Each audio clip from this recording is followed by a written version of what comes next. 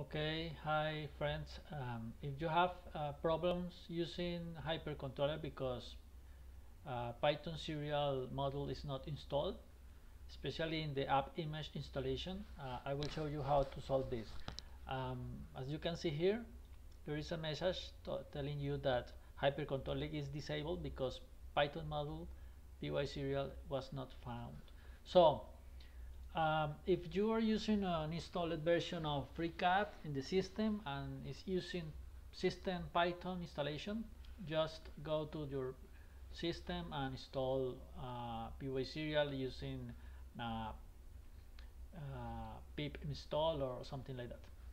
But uh, if you are using the app image, it, it will uh, it will not work probably. So uh, there is uh, in my uh, Mnesarco tools um, there is this tool that allows you to add custom paths to your Python path system system Python paths. So anything you add here will be integrated in the into the uh, FreeCAD at startup and can be used by the extensions. This is very practical in some cases when you need to quickly add external uh, paths to the Python path. Um, I will show you how to add this py serial in this case. So it's very easy. You you will go to p to the Python serial uh, package and download it uh, from here.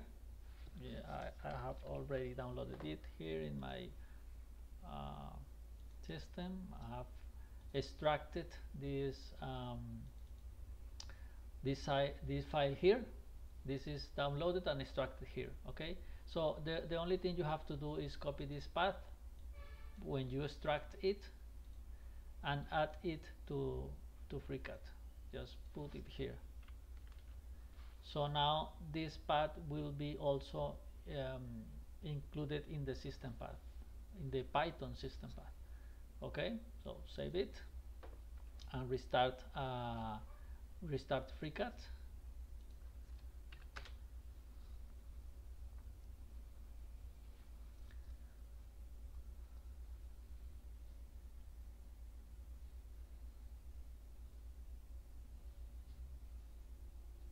okay now you can see here that the path the custom path was added to the Python path. So now you can use um, hypercontroller. Uh, activating it here. The Python controller also has configurations here. Uh, you you here configure the port and the and the baud rate of the port. It, it, will change for example in Windows it will, will become 1 2 3 4 5 or whatever or even in Linux you have to change this probably with ACM1 or, or whatever. But it's not important here the thing is that now you can activate it and it's working now.